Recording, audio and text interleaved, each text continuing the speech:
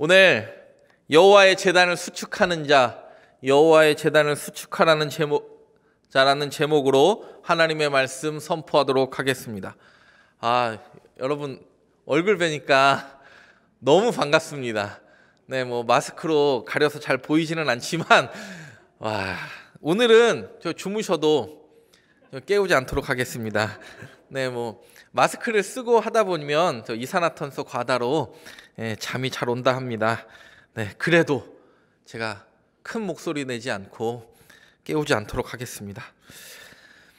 아까 제가 이렇게 앉아 있는데 막 우시면서 저 멀리 계신 성도님들한테 이렇게 손인사 하는데 아, 너무 감동적이에요.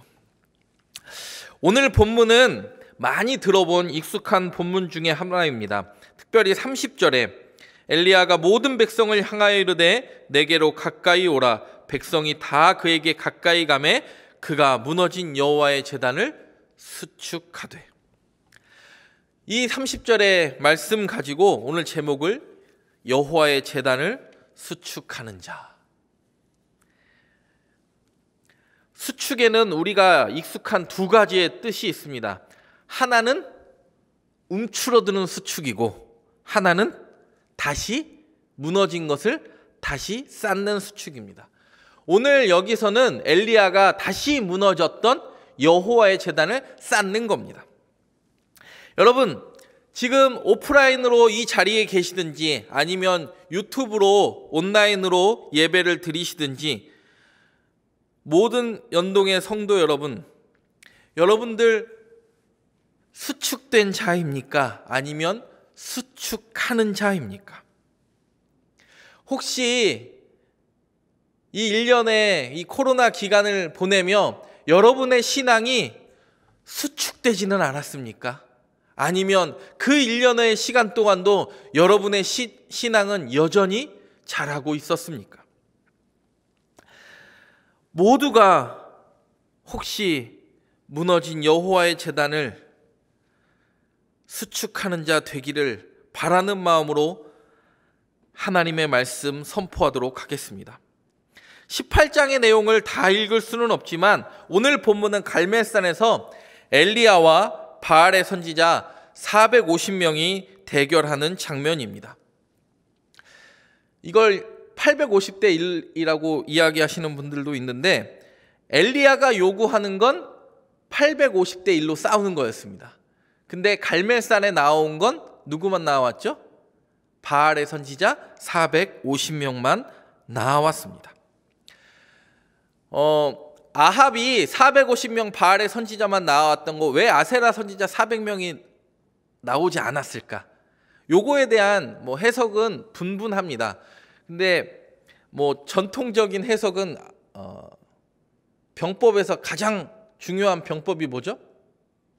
36개? 네, 알아서 도망갔거나 어, 원래 바알과 아세라는 부부예요. 그 신화의 이야기를 보면 바알은 남자의 신이고 아세라는 여성 신입니다. 그러니까 이세벨이 나오지 않았기 때문에 400명의 아세라 선지자들은 나오지 않았을 것이다 라고도 보기도 합니다. 하여간 뭐 그것이 중요한 건 아니고 중요한 건 엘리야는 850대 1로 싸우기를 원했지만 갈멜산에 나온 건 바알 선지자 450명이라는 겁니다. 갈멜산에 나올 때 3년 6개월 동안 비가 내렸어요? 안 내렸어요? 내리지 않았습니다. 엄청난 가뭄에 시달리던 상황이었습니다. 그때 아합에게 엘리야가 이야기했습니다. 아합이 엘리야가 3년 만에 딱 나타나니까 너무 열이 받잖아요. 그러니까 읽진 않았지만 이 전에 20절부터 22절을 보면 이스라엘을 괴롭게 하는 자여 너냐? 아합이 엘리야에게 그럽니다. 이스라엘을 진짜로 괴롭히는 사람은 누굽니까? 아합입니까? 엘리야입니까?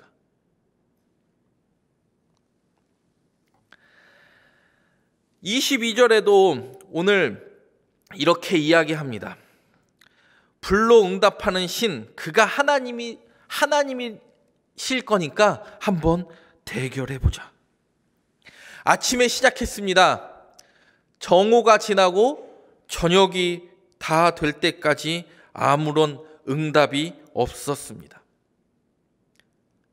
그리고 오늘 그 저녁 때에 엘리야가 이야기하기 시작합니다. 갈멜산에는요, 두 개의 재단이 있었을 것입니다.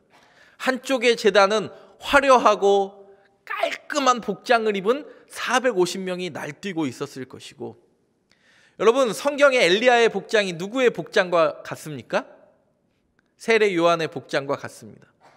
남루한, 낙타 털옷 입고, 가죽띠 띠고, 메뚜기와 석청을 먹는 파리하게 말라버린 아마 저는 바알의 선지자의 모습에 가깝지 않았을까. 왜냐면 저는 조금 몸이 비대하지 않습니까? 근데 엘리야는 메뚜기와 석청만 먹었으니까 말랐을까요? 말랐을까요? 예. 저도 그런 선지자의 영성을 굉장히 갖고 싶어 합니다. 450명이 날뛰는 제사장 복장을 갖춰 입고 화려한 제단 앞에서 예배하는 것과 낙타 털옷 입고 가죽띠 띠고 메뚜기와 석청만 먹은 혼자 남은 엘리야가 그때 저녁 소재 드릴 때 이렇게 이야기합니다. 내게로 가까이 오라. 내게로 가까이 오라. 여러분 누구 말을 듣고 싶었을까요? 그리고 여러분 왜 엘리야는 갈멜산에서 아합과 바알의 선지자들과 대교를 청했을까요? 여러분 성경을 많이 읽다 보면 북이스라엘의 가장 대표적인 우상 숭배의 신전은 어디 있었습니까? 단과 베델에 있었어요. 근데 왜 하필이면 갈멜산이었을까요? 성경을 읽다 보면 이런 질문이 여러분의 삶에도 들 줄 압니다. 갈멜산에서 바라본 이스라엘 골짜기입니다. 넓은 평야입니다. 원래 이스라엘 골짜기는 골짜기로도 이야기하고 이스라엘 평야라고도 이야기해요. 둘 다 같은 말입니다. 왜냐하면 갈멜산과 저쪽 상대편에 있는 다볼산 모래산 사이에 드넓은 평야예요. 여러분 성지순례 가보면 아시지만 이 갈멜산 꼭다기에서 그 이스라엘 넓은 평야를 보면 이스라엘 3대 평야 중에 하나가 어디입니까? 이 이스라엘 골짜기이자 이스라엘 평야예요. 다음 사진을 한번 보면 이 골짜기가 이렇게 생겼어요. 빨간색으로 표시해 놨습니다. 갈멜산에서 저 기손강, 저 흰색 저 평야에 여러분 단과 베들은요 가물어도 가물은 티 날까요 안 날까요? 우상 숭배가 있고 단 가보시면 아시지만 한여름 건기에도 물이 콸콸콸 여기가 이스라엘 맞나 싶을 정도로 중동 최대의 수원지는 어디입니까? 단이에요. 북이스라엘 산당이 있던 그런 데서 대교를 요청하지 않습니다. 어디서 요청을 합니까? 갈멜산에서 요청해요. 왜요? 이스라엘 평야를 보면 3년 6개월 동안 가물었던 증거가 눈앞에 보여요, 보여요. 네, 대답은 하셔도 괜찮은데, 네, 보이게 보이죠. 그래서 엘리야는 단과 베델 북이스라엘 산당이 있는 곳에서 하나님이심을 보이는 게 아니라 3년 6개월 가뭄을 주신 하나님께서 다시 무엇을 회복시키고자 하시는가를 가장 자세히 보여줄 수 있는 곳이 어디입니까? 갈멜산 꼭대기에서 그 이스라엘 평야를 바라보는 것이었어요. 사랑하는 여러분, 무너진 여호와의 재단 수축하는 자 되시기를 간절히 바랍니다. 어떤 사람이 무너진 여호와의 재단을 수축할 수 있는가? 첫 번째로 한번 따라해 보겠습니다. 순종하는 자. 뭐 하는 자라고요? 네, 순종하는 자가 무너진 여호와의 재단을 수축할 수 있습니다. 엘리야는 여호수아가 요단강을 건너며 길갈에 쌓아놓았던 열두 지파 를 상징하는 열두 재단을 쌓습니다. 이거는 그 갈멜산 무흐라카라고 그 엘리야 수도원 가면 그 재단 밑에 돌이 12개예요. 딱 보면. 여러분 12개 돌을 쌓으면 다듬지 않는 돌로 쌓기 때문에 재단이 클까요? 작을까요? 굉장히 작습니다. 소 한 마리 놓으면요. 소가 한 마리가 덮일 정도로 작은 재단이에요. 왜? 돌을 몇 개밖에 못 쌓으니까 12개. 무흐라카라는 이 수도원은요. 아랍어로 히브리 말로 아니라 아랍어로 불이 내린 곳이라는 뜻입니다. 유대인들이 아니라 아랍 사람들도 인정하는 곳이에요. 백성의 삶과 이반된 아합 과 이세벨 그리고 엘리야가 찾아갔을 때 5절에 보면 이 아합과 이세벨이 얼마나 탐욕적이었냐면 오늘 18장 5절에 보면 뭐 하다가 만나냐면 자기의 말과 노새를 살릴 물을 찾다가 만나요. 열두 돌의 그 초라한 돌, 그리고 바알의 재단에서 아침부터 이제 구경을 하는 거죠. 양쪽 재단에서 백성들이 구경 났다고 한 7천 명이 모이지 않았습니까 이때? 아침부터 저녁 소재 드릴 때까지 응답하지 않은 바알과 아무 행동도 하지 않다가 이제 이야기하려는 엘리야. 바알의 재단에서 실망을 맛본 7천 명은 엘리야가 백성들에게 다 내게로 가까이 오라 하니까 백성들이 가까이 옵니다. 백성들이 가까이 온 때부터 무너진 여호와의 재단을 다시 쌓습니다. 이것을 성경에 나중에 보면 이렇게 이야기합니다. 엘리야가 하나님 나만 혼자 남았습니다. 라고 이야기할 때 하나님이 그때 무엇라고 이야기하십니까? 너 그때 바알에게 무릎 꿇지 않은 7천 명 내가 너에게 보여줬잖아. 백성들이 모이는 일에 순종하였습니다. 맹목적인 순종을 순종이 아니라 하나님을 향한 순종이 있습니다. 한때는 바알이 참신인가 하나님이 참신인가 기웃기웃하던 그 사람들이 드디어 엘리야의 말에 하나님의 말에 반응하기 시작합니다. 원래 바알은 비의 신입니다. 풍요의 신입니다. 여러분 그 모든 이방 신들은 신상이 있습니다. 혹시 박물관이나 이런 데서 보셨을지는 모르겠지만 바알은 이렇게 해서 여기에 번개를 들고 있는 신이 바알 신이 비를 내리고 가물었던 땅에 풍요를 내리는 신이 번개가 있다라는 건 불을 내릴 수 있어요, 있어요. 있다는 뜻입니다. 예배하는 모임에 순종하였고 재단 쌓을 때 또 순종하였어. 모이라 하니까 순종했고 재단 쌓자 하니까 또 함께 엘리야가 쌓던 그 재단에 함께 쌓으며 순종하였습니다. 근데 여기서의 가장 큰 순종은 뭔지 아십니까? 새로운 일에 순종하였습니다. 새로운 일에 순종.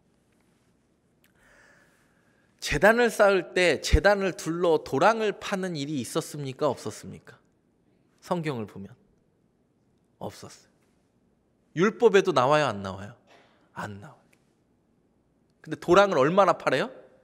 15리터가 들어갈 정도로 엄청 깊게 재단은 엄청 열두 돌 요만큼 쌓아놓고 요만큼 재단은 요만큼 쌓아놓고 재단 주위를 더 큰 구덩이를 파래요. 그리고 물을 부으래요. 몇 번을 부어요? 네 통을? 한 번, 두 번, 세 번 붓는다고 오늘 성경에 나와 있습니다. 그럼 몇 통을 부은 거예요? 열두 통을 부었어요. 여러분 생각을 해보세요. 도랑을 파는 일도 성경의 제사법에 나오지 않고 물을 부어드리는 제사도 성경에 등장하지 않습니다. 근데 더 중요한 게 있습니다. 이때는요, 이 물을 부으라고 할 때는 3년 6개월 동안 뭐 할 때예요? 가물어서 먹고 죽을 물도 없을 수, 이 물은요, 생명이에요, 생명. 단순한 물이 아니에요. 우리나라처럼 뭐 이렇게 수도꼭지 타틀고 지하수에서 우물 깃듯이 나오는 물이 아닙니다. 여러분 산 꼭대기에 물이 어디 있습니까? 기손 시내도 말라버렸어요. 이스라엘 골짜기도 말라버렸어요. 근데 열두 통의 물을 갖다 부으래요. 생명을 갖다 붓는 겁니다. 만약에 우리에게 지금 이런 것을 요구하신다면 너 이렇게도 예배 드려볼 수 있어. 이렇게 하면요. 우리 교회는 그런 일이 없지만 바로 저기 사무실로 전화 올 거예요. 예배 왜 그렇게 드리냐고. 우리 교회는 우리 교회는 그런 일이 없습니다. 우리 교회는 너무 순종을 잘해서 그냥 어떻게 드리든 예배를 사모하는 마음으로 드리지만 다른 교회들은요 컴플레인을 많이 한다고 하더라고요. 새로운 일을 합니다. 율법에도 나와 있지 않은 일을 해요. 도랑을 파고 물을 붓는. 근데 그 백성들이요 그것에 순종해요. 여러분 순종이 무척 어렵습니다. 그리고 오늘도 보면 야곱의 이야기가 등장하잖아요. 32절부터. 왜 이렇게 야곱과 이스라엘의 이야기, 아브라함과 이삭과 이스라엘이라고 이스라엘의 하나님의 이야기가 등장을 할까?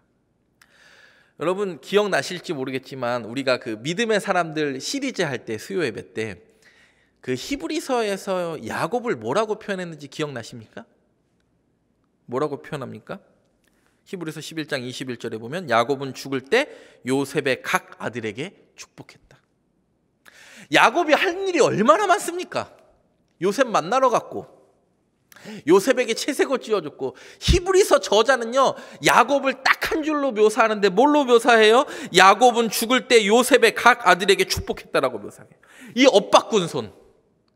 문하세와 에브라임을 엇바꾸지 않습니까? 야곱은요 끊임없이 자기 주장이 강했던 사람이에요. 그렇죠? 형 속이기에도 능숙한 사람이었어요. 근데 마지막에 다듬어지다 보니까 세상의 문화와 관습과 내 관습이 아니라 하나님이 요구하시는 것에 반응하기 시작해요. 그래서 어떻게 해요?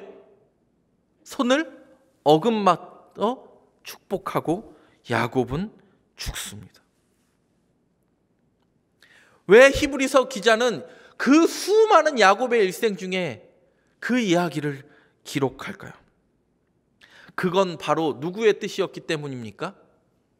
하나님의 뜻이었고 그 하나님의 뜻에 야곱은 드디어 말년에 자기 뜻 내려놓고 하나님의 뜻에 순종할 수 있는 사람이었다. 여러분 순종이 제사보다 낫다고 이야기하는데 저와 여러분은 얼마나 순응하고 순종하며 사십니까? 순종이 잡종보다는 나아야 되지 않겠습니까? 우리는 하나님의 뜻 알 수 없습니다. 이 앞에 있는 목사의 말에 순종하라는 것 절대 아닙니다. 하나님이 말씀하실 때 그것이 내 수십 년의 신앙의 관습을 바꿀지라도 하나님이 말씀하시기 때문에 내가 반응하겠습니다. 그런 결단의 순종이 저와 여러분의 삶 가운데 날마다 넘치기를 바랍니다. 그 열정이 무너졌던 우리의 다시 수축했던 우리의 신앙의 자세가 있다면 다시 하나님이 쌓아가시는 수축이 있기를 간절히 바랍니다. 원하지 않던 그 길도 수축할 수 있는 두 번째로 한번 따라해 보겠습니다. 여호와의 재단을 수축하는 자는요. 뭐 하는 자예요? 기도하는 자예요. 와, 오늘 오프라인 예배 드리니까 오랜만에 설교하니 제 설교가 좀 길어지는 것 같습니다. 양해 부탁드립니다. 기도하는 자입니다. 정해진 시간에 기도했어요. 오늘 성경은요, 분명히 뭐라고 선포하냐면 36절에 뭐라 그래요? 저녁 소재 드릴 때. 원래 저녁 소재는 드려야 돼요, 드려야 돼요. 드려야 돼요. 이스라엘은 매일의 예배가 있었어요. 아침 소재가 있고 저녁 소재가 있어요. 아침 소재는 언제 드리냐면 지금 우리나라 시간으로 따지면 오전 6시와 9시 사이에 드리는 시간을 아침 소재라고 그랬고 오후 3시부터 오후 6시 사이에 그러니까 땅거미가 질 때쯤 드리는 예배를 저녁 소재. 여기서 하나가 더 끼면 정오가 끼면서 다니엘은 그럼 언제 드렸을까요? 아침 소재 드릴 때와 저녁 소재 드릴 때 기도했고 또 한 번 언제요? 한낮에 가장 가운데인 정오에 기도한 게 그래서 이제 세 번 기도하는 것이고 이 저녁 소재 드릴 때 예수님도 십자가에서 운명하시죠. 그리고 이 제9시에 저녁 소재 드릴 때 어둠이 짙어갈 때쯤 우리가 잘 아는 대로 사도행전 10장에 고넬료도 환상을 보고 베드로를 초청하게 됩니다. 원래 예배가 드려져야 하는 시간이었습니다. 근데 누구도 저녁 소재를 찾지 않습니다. 근데 엘리야가 그 무너진 저녁 소재의 예배의 시간을 회복합니다. 정해진 시간에 기도했다라는 거예요. 안타까운 일이 있습니다. 온라인 예배가 몇 주 진행되다 보니까 수요일 날 7시에 딱 되면 제가 지난주에 이래 제가 찍었거든요. 7시 딱 되고 이래 딱 찍으니까 되게 기쁘더라고요. 근데 10분 후에 다시 새로 고침했는데도 몇 분 많이 안 보시더라고요. 아마 지금 한 이 정도 인원이 보신 것 같은데 물론 무시로 기도하는 것 매우 중요하지만 하나님과 내가 약속한 그 시간에 기도하는 것 하나님은 그것을 회복하기를 원하셨던 겁니다. 그러니까 언제까지 하나님이 기다려 주셨어요? 저녁 소재 드릴 때까지 가만히 침묵하시다가 드디어 원래 예배를 드려야 하는 그 시간에 하나님이 예배를 받기로 작정하십니다. 아침부터 정오를 지나 오는 성경을 보면 아침부터 정오를 지나 저녁 소재 드릴 때까지 바른 응답하지 않습니다. 사람들이 몸에 자해를 합니다. 피가 철철 흐르지만 하나님은 바른 응답하지 않습니다. 바알은 번개의 신인데 풍요의 신인데 그 번개로 땅 치면 될 것 같은데 엘리야가 이야기합니다. 너희 신이 자나보다. 여러분, 지금 이 저녁 소재 드릴 때는 또 한 가지의 의미가 있습니다. 캄캄한 어두움이 드리워지기 시작했다는 겁니다. 대낮이 아닙니다.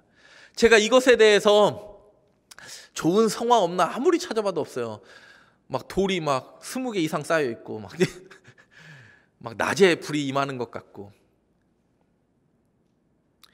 캄캄한 저녁에 저녁 그 땅거미가 드리울 쯤에 지중해 해가 뉘어뉘어 질 즈음에 사람들이 나와 기도합니다. 그리고 엘리야는 제목을 정해놓고 기도해요. 여러분 기도의 제목이 있으십니까? 물론 기도의 제목이 다 있을 줄 압니다. 기도의 제목 없는 분 없죠. 가끔 신방 가면 저는 너무 평안해서 목사님 기도의 제목이 없습니다. 둘 중에 하나예요. 기도를 너무 많이 하거나 기도를 아예 안 해서 기도의 제목을 발견하지 못하는 분 중에 하나입니다. 36절과 37절에 보면 이렇게 이야기합니다. 저녁 소재 드릴 때에 이르러 선지자 엘리야가 나아가서 말하되 아브라함과 이삭과 이스라엘의 하나님 여호와여 주께서 이스라엘 중에서 하나님이신 것과 내가 주의 종인 것과 내가 주의 말씀대로 이 모든 일을 행하는 것을 오늘 알게 하옵소서. 여호와여 내게 응답하옵소서 내게 응답하옵소서. 이 백성에게 주 여호와는 하나님이신 것과 주는 그들의 마음을 되돌이키심을 알게 하옵소서. 제가 지금 36절, 37절 엘리야의 기도를 읽었지만 1분도 지나지 않았습니다. 근데 엘리야는요, 짧지만 정확한 자신의 기도의 제목을 가지고 있어요. 중언부언하지 않고 여러분의 기도가 정리되어지기를 간절히 바랍니다. 정확한 제목이 있기를 간절히 바랍니다. 엘리야는요, 딱 세 가지 놓고 기도해요. 하나님, 하나님이 하나님이신 것과, 그리고 내가 하나님의 종인 것과, 그리고 이들의 마음을 되돌이킬 수 있는 사람은 하나님 뿐임을 알게 하옵소서. 여러분의 제목 가운데도 이것이 빠지지 않기를 바랍니다. 여러분의 삶의 모든 예배의 자리와 현장에서 하나님이 날마다 여러분의 삶으로 드러내기를 간절히 바랍니다. 여호와여 내게 응답하옵소서. 내게 응답하옵소서. 엘리야는 자신은 하나님의 종이라는 것, 이스라엘을 괴롭게 하는 자가 아니라 하나님의 종으로 이 자리에 왔다라는 그 억울함을 푸는 듯한 기도도 누구와 합니까? 하나님과 해야 합니다. 내 억울함은 옆에 있는 권사님과 집사님이 풀어줄 수 없습니다. 하나님이 그 이야기를, 그 기도를 풀어 주십니다. 뭐 하는 자에게요? 기도하는 자에게 여호와의 재단이 수축되어지며 하나님은 불러 응답하시는 분이며 하나님이 하나님 되심을 나타낸 줄을 믿으시길 바랍니다. 여러분의 여러분을 통하여 기도하게 하시는 분은 반드시 응답도 준비케 하신 분인 줄 믿습니다. 기도라도 해야지가 아니라 기도밖에 능력이 없기에 우리는 엎드립니다. 첫 번째 여호와의 재단을 수축하는 자 첫 번째는 어떤 자가 여호와의 재단을 수축한다고요? 순종하는 자. 두 번째는 어떤 자요?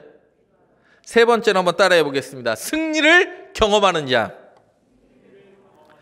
불 꺼진 재단은 황폐하고 아무런 응답도 나타나지 않는 폐허가 되어버렸습니다. 이미 저녁이 되어버렸습니다. 내리는 불로 붙어버렸습니다. 세상의 불은 밑에서 떼요, 위에서 떼요.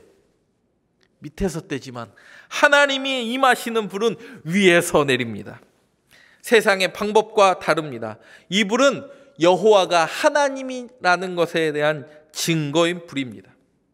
그리고 다시 생명을 줄 생명의 불이고 그 모든 사람에게 신앙의 고백을 이끌어내는 믿음의 불입니다.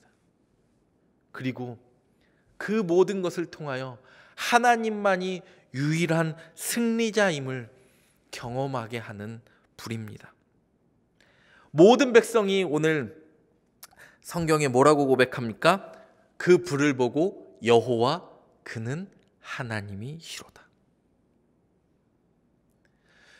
교회가 핍박을 받는 것 같습니다. 교회가 지탄의 대상이 되는 것 같습니다. 여러분 절대 두려워하지 마십시오. 하나님은 우리의 비판과 지탄에 가리워질 만큼 작은 분이 아닙니다. 우리로 하여금 다시 한번 고백하게 하실 것입니다. 여호와 그가 하나님이셨다. 백성들이 그 불을 고백하고 승리를 맛보았던 것처럼 여러분에게도 패배하는 것 같고 지는 것 같지만 다시 여러분으로 하여금 여러분의 입술로 하여금 신앙 고백하게 하실 분은 하나님이십니다.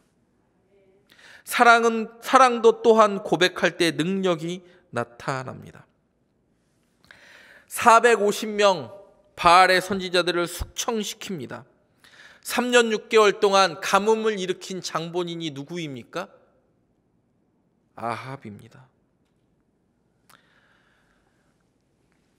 어두워졌어요. 기손 시내로 이 450명을 데리고 가서 죽여버려요. 그럼 엘리야 혼자 갔을까요? 7천 명이 같이 갔을까요? 성경에는 나와 있지 않지만 7천 명이 같이 갔을 거예요. 갈멜산을 올라올 때랑 갈멜산을 내려갈 때 기손 시내를 가서 바알의 그 450명의 선지자를 죽이고 다시 여호와 그는 하나님이시더라 신앙 고백할 때는 다른 겁니다. 마치 변화산을 오를 때와 내려갈 때 제자들의 신앙이 달라진 것처럼. 여러분, 온라인으로 들으시든 이 자리에 나와 계신 여러분들이든 이 예배를 드리는 전과 후는 달라야 합니다. 그것이 여호와의 재단을 수축하는 자의 모습입니다. 이미 우리에게 주신 승리를 맛보고 그 하나님을 고백하는 믿음의 백성 되어지기를 간절히 바랍니다.